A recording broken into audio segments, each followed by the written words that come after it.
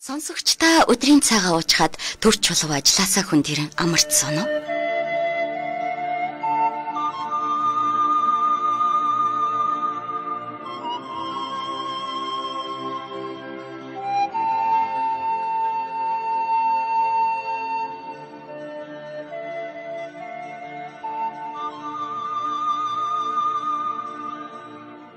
Таны богино амралтанд зориулж утга уран зохиолын яруу ихшгээр аялуулъя.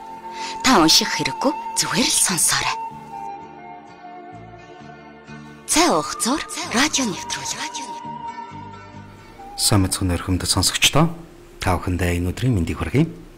Их Монгол радио сонсогч та бүхэндээ ажлын өдрийн даваа, лавг, баасан гаргуудад их үдийн 14 цагаас цай ухцоор утга уран зохиолын цаг нэвтрүүлгээ өргөн барьдаг байгаа. Бид нэвтрүүлгээ хүргэлгүй бараг сар гарны хугацаа өнгөрлөө. За учир юу вэ гэвэл улс өх орноос тогтоосон за 20 цагийн дэглэмтэй холбоотойгоор нэвтрүүлэг ба бас тухайн цаг үедээ хүрч чадсангүй. За тэглээгээд а ямар тач нэвтрүүлэг маань бол зогссонгүй. За тэгээд нэвтрүүлэг маань яг одоо үргэлжилж байна. Тэгээд бас нэлээд урт хугацаанд бас та бүхний хүлээл хүлээлгэсэндээ хөлцлөчий. За тэгээд үнэхээр бас биднээс шалтгааллах хүчин зүйл бол байсангүй. За тэгээд улсынхаа бас гаргаж байгаа энэ хүү шийдвэрийг бас дагаж за ялангуяа бас аа энэ хүү чигийг барьж бас хэсэг хугацаанд бас өнжлөө. За тэгээ хамгийн гол нь энэ цаг хугацаанд бас төсвөр төвчээртэй нэвтрүүлгийн маань бас шинтэн сонсож хүлээж суусан сонсогч та бүхэндээ баярлалаа. За тэгээд амьд явхад алтан аягнаас усуун гэж ярьдаг. Тэгээд эрүүл байхад бус бүх зүйл бол сайхан байдаг. Тийм учраас бүх монгол зун олондоо эргүүлийнхийг хүсье. За тэгээд одоогор бол нэвтрүүлэг маань тасалдахгүй бас та бүхэнд хүрэх баха гэж найдаж байна. Та бүхэн ажлын өдрүүдийн таваа, лавг, баасан гарыг бүрийн их үдэ 14 цагаас нэвтрүүлгээ хүлээн аван сонсож байгаарай. За бид энэхүү нэвтрүүлгээрээ зохиолч Сэрчин огтой өвөрт сайхан за их хүн бодит амьдралаас сэтгүүлсэн хайрын дуужийн 2 дугаар дэвтрийг аль биесны зөвшөөрөлтөөр та бүхэнтэйгээ хуваалцаж байгаа. Ингээд зохиолынхаа үргэлжлэлийг та бүхэн хүлээн аван сонсноо.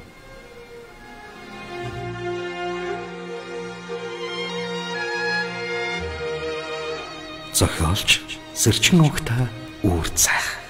Зохиол их хүн бодит амьдралаа сэтгүүлсэн хайрын тууч 2 дугаар дэвтэр 63 дугаар хэсэг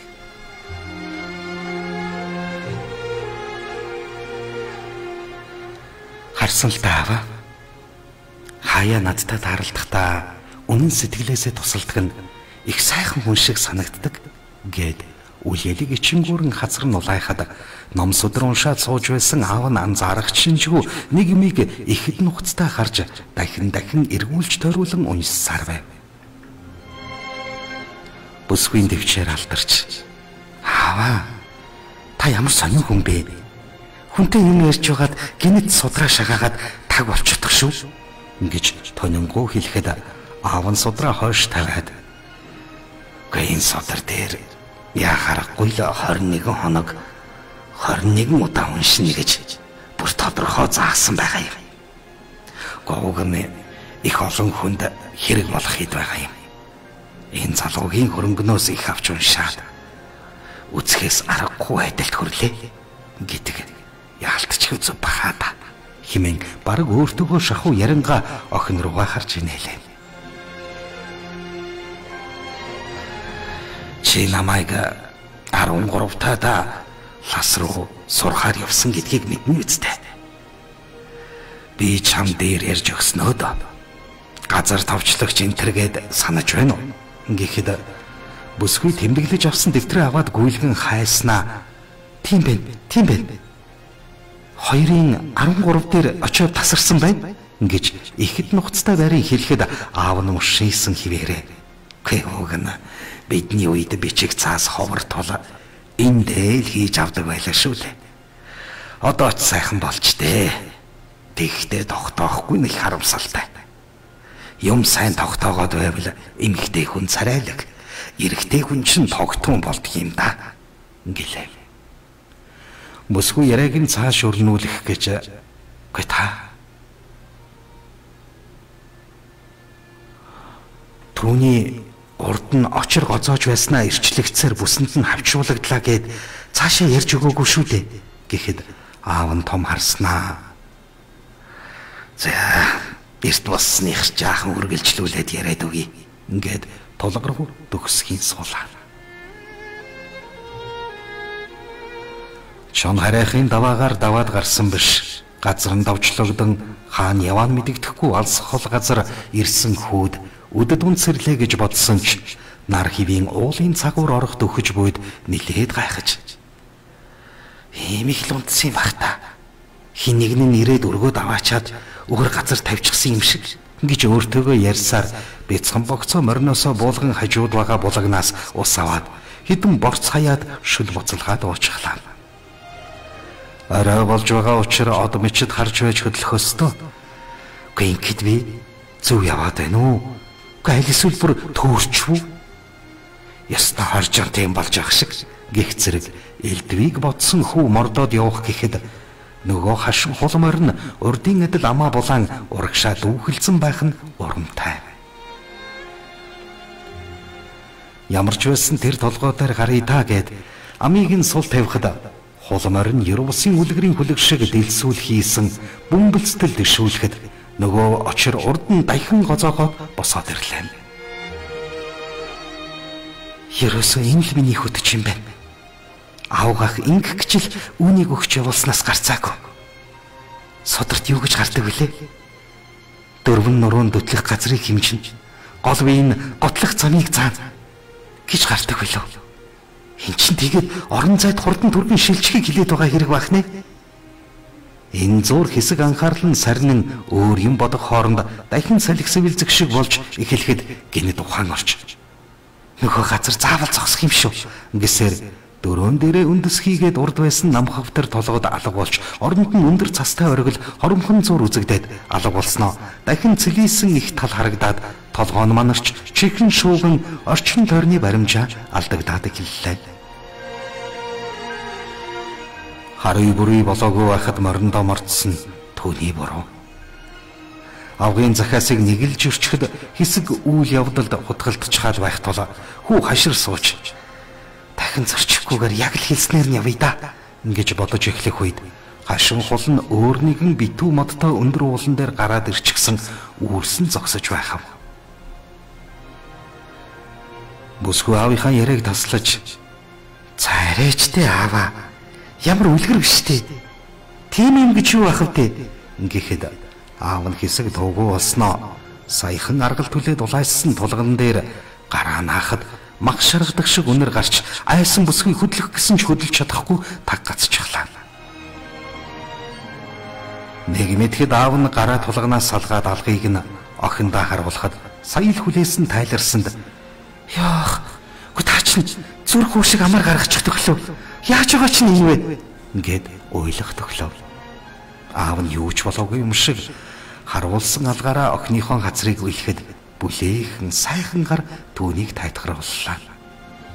Гэнэт саяны явдлыг сонсон бүсгүй альва гарыг чинь харъя. Гү сая надад дүлэгдсэн мах үнэртэх шиг болсон. Гү юу вэ одоо? Ингэсээр аавын гар руу гайхсан байртай харлаа. Аав нь судраа дэлгэн уншиж суух нь өнгөрсөн цаг хугацаанд юу ч болоогүй мэт. Бас юу ч ярьж байгаагүй хэв шинж төрөх герт ноёлно. Бүсгүй авийнхаа яриаг дэмий тасалсандаа харамсаж дахиж таны яриаг таслахгүй аваа. Тэгээд цаашаа химэн яриаг нь үргэлжлүүлэх гэж хичээлээ. Аавны нэмсэглэн одоо мичэд түгэх цагаар мордоогүй байснаас болоод түнэр харанхуй болох үеэр түүний газар товчлох эрдэм алга болж оронд нь жирийн явдлаар явхаас өөр аргагүй болсон гэдгийг хүү мэдэхгүй учраас Тэнгэр рүү хараад долоон бурхан одоор баримжаална чүү гэд цааш явсан гэж яриагаа үргэлжлүүлв. Энэ газар орон маш олон ирвэстэй уул байсан ачаа. Авгийн яриаг анхааралтай сонсоогүйгээс болоод буруу цагтаа мордсноос ч ойлгоогүй. Урд нь явж байсан чон харайх шиг нэг л газар хорж өгөхгүй эн тэндээс нь юм дуурайт ч баг шиг хүүгийн нойрч хүрэхгүй сэргэг чигтэйхэн явна. Хашин хул нь одоо жороолох биш гэлдрэн явах бөгөөд сүрсүлт нь хайччихва гэмээр толгоогоо унжуулан заримдаа өвс зулгаах гэж жолоо барьсан хүүгийн гарыг өгц татан тонгой. Орчин тойрноос хачин дуу аваа сонсогдож байснаа гинэд тэмээ бүлэх дуугарлаа. Энэ нутаг тэмээтэй газар болол та. Ашгүй малын бараа харж хань хийж шунахоос өөр арга алах та нэг л буруу хөл дээрээ босчихсон юм шиг болох чинь химэн хизээ цагийн хөгшин хүн шиг юм бодсоор хашин хулаа дахиад нэг ташуурлаад автал овгосхийн үсрэхтэй арайтай л хүүг унахчихсан бай. Гэтэл морин түүний зогсноос биш өөр юмнаас үргэсэн бололтоо чихээ холмайлган хамраа тачигнуулан хуйхэрдэж бүр байж чадсан дотроо зогчход энэ одоо яагаад байгаа юм бэ? Хай химэн дөрөөн дээрээ өндийгөд орчин тойрноо анхааралтай харлаа. Хүүгийн зүрх түг түг цогл. Аргагүй шүү дээ. Дөнгөж л 13-ны жил орж байгаа юм даа. Нөгөө дуурайд байсан тэмээнүүд эргэн тойронд нь буйлах мэт нэг л биш ээ. Та харанхуй болохоор сайн харагдахгүй ч ногоон улаан өнгийн цэг шиг гэрлүүд хид хідэн үзэгдэх нь тэмээнийнүүд бололтой ямар ач юм бэ? Тэмээний нүдэр шөнийн цагаар цэнхэр харагддагсан. Энэ явч тэмээ биш болж таарлаа. Гэхдээ дуун яг л тэмээ. Байц байц. Дахиад нэг чагнаадах юм. Ингээд чихээ тавьбал дахин дуурхаа болсон нь тэд нилээд ойртон ирснийг байлаа.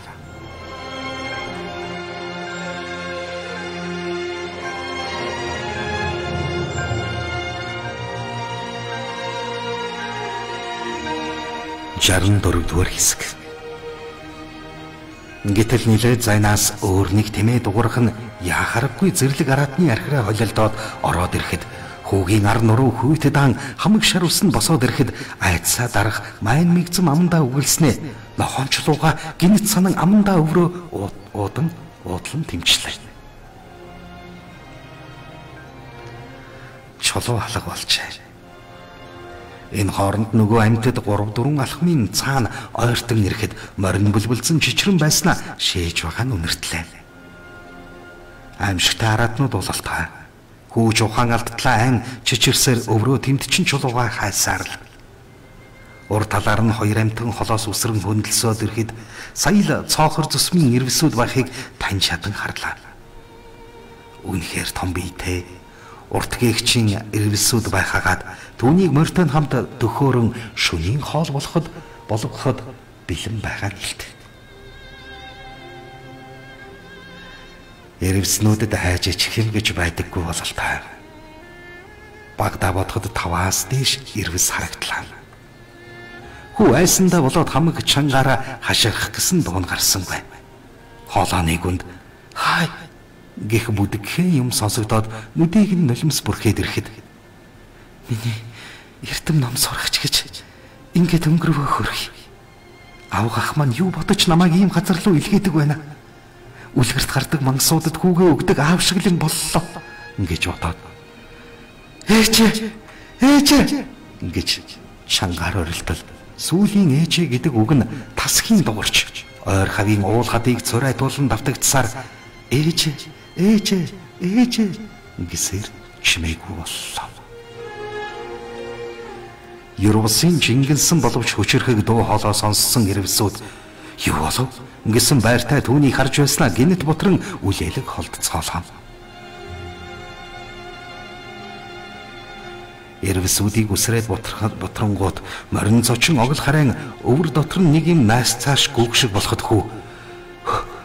Нөгөө чулуу Ингэсээр өврөө удлан түүнийг олж авах гэж бушуухан амандаа хийгээд авлаа. Хүү зарг орчээ. Иргүн шиг чанга дуугарган мориныг ташуурлаад хай хай ингэж хитэнтэй хашгираад огл харээсэн морныхоо амийг татаад суудлаа зэхлэн. Ядах годрongууд ханаас гараад ирсэн альбин чөтгөрүүд химэн аавынхаа хэлдэг үгнүүдийг дуурайн малтаа ярьж өгмөт хэлэхдээ өөрөөсөө зочих шиг боллоо. Түүний амнаас гарсан дуу маш чангаар цурайтаж чихний хингэргийг хагалхаад өгөхөд дуунаас нь цоцсон морь ирвсээс айх биш. Дээрээс усан эзний ир усын дуунаас сүнсийн зайтал цочим. Шангаар янцгаахан янцгааж морины дуу бүр чангаар цуурайтан ойр хавийн хад чулууг нураах төхөм дахин дахин цуурайтсаар намжлаа. Эрвсүүд намгүн байсан хоёроос зэрэг зэрэг чихийн хингэргийг нь цоолом тас хийх дуу огцом гарахад зочсондоо болоод нилээд холдоод алсаас цэмэрхэн гитэж мирах маягтай дахиж эхэллээ.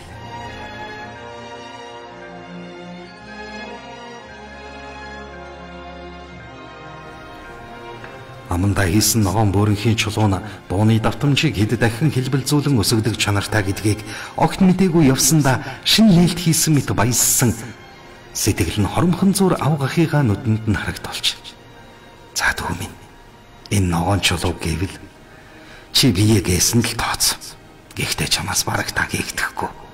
Тийм учраас санаа зовжуулахгүй. Чиний заяасан таван тэнгэрч нь хамгаалах байлгүй. Айдас алга болох хос гадна чамайг хамгаалах янз бүрийн юм дотроос нь илэрч гарч мэднэ. Агуу номын өвдөс орон зай дотор л шингэсэн байна. Харж л бай. Гинтэл чамайг хамгаалах болно. Ингэсээр хөхрөн суухта юудэнтэй малгайгаа нүрний урдуур унжуулад унах нь холгүй хоёр тийшээ үл ялэг дайвалзан үе үе намуухан дугаар аялгуухан чиглэл их шиглүүлж уншлаг судраа айлдан суух нь хажууханд байх шиг санагдлаа. Хямрлундаан сэргсэн хүүгийн аманд байгаа ногоон чулуугаар дамжуулан түүнийг мэдэрч харж эхэлсэн авган үгүй зөөлөгч. Тэр буруу цагтаа мордоод буруу газараа бөөрийнхий ногоон чулууга ард талдаа хадгалаад явж байдаг нь хараад гаар.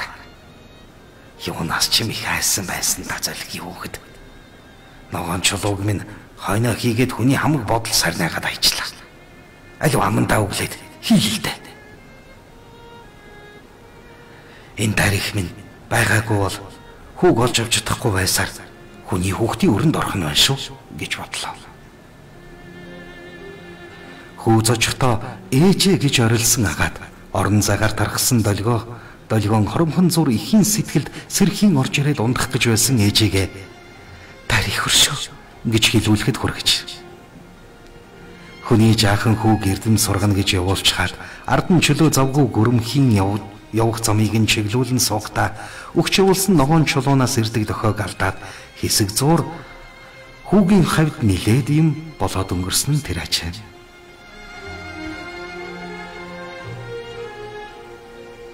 Хүү юу болсон талаар огт хэлэхгүй юм. Аманда хай хай гэж дуугарм байхаагаад эргэн тойронд нь нилээд битүү хар манан татаж хүчрхэг амттын хүрхрэн сонсогдох шиг мэдрэмж авгийн дотор төрлөө.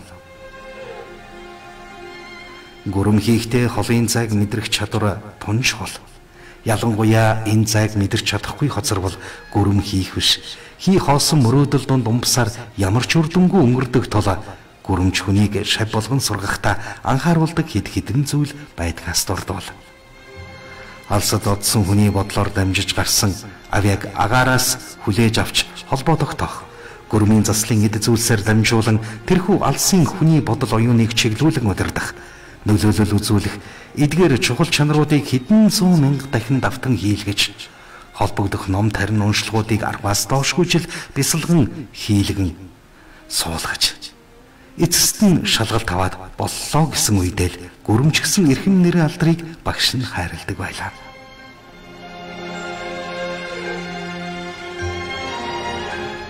Хүүгийн аваг 25 жил гүрмийн бясалгал хийсэн шидтэй ир байсан агаад бясалгал хийж байгааг нь харсан нутгийн хүмүүс солио таймд. Уул хатанд очиод гэр оронгүй хүн шиг тинээд алга болчдөг.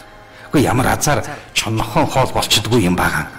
Гэх мэтчлэн ам дамжин яригч учир мэдхнийг нь гүрэм хийж байгаа үед нь симээрхэн ойр очиж хоноод өглөө эртлэн гүнцэг барьж өгдөг ажаа. Бясалгачрын төмөн шидвэрдлээ гэсэн шиг хинээс хоол цаавах хинээс авахгүйгээ хүртэл мэддэг тэрхүү эрд атгах санаа агуулсан нэгэн хид хідэн удаа гүнцэг өгөх гэж чадлагүй хоцорсон доо.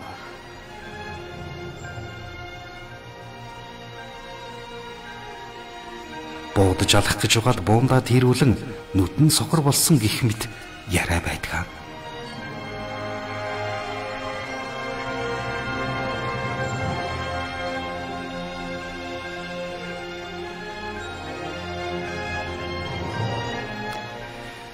Ийм их өвдөс хурайсан ч гэсэн хүүг сургахаар яваа зорилго нь өөрөө ч бүр илүү. Маш олон хүндэд тус хүргэж чадах тийм л нэгэн онцгой шав бэлтий химэн зорьсных нь инүүлээ. Үнэхээр ч энэхүү онцгой төрсөн нэгэн байсан бөгөөд шахаж шаардуулахгүйгээр зузаан зузаан судруудыг сайн дураараа чэжилж гисэн тухай дээр урдаад өнгөрсөн бүхнийг сонсогч та санаж байгаа биз?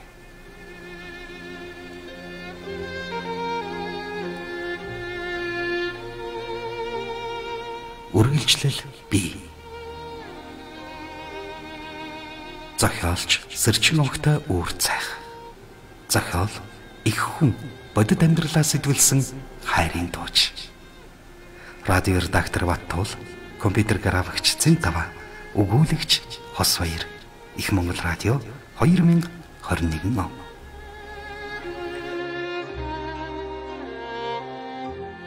Сонсогчдаа их хүн номыг бүрэн ихээр нь худалдан авч уншихыг хүсвэл 88 10 17 14 88 10 17 14 дугаард холбогдож байгаа газраа хүргүүлнэ.